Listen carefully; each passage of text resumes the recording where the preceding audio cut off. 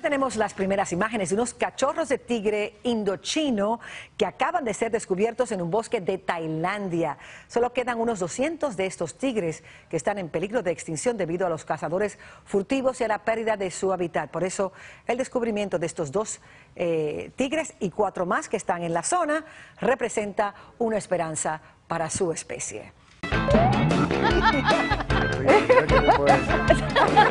Yo nunca le he llevado flores a una mujer.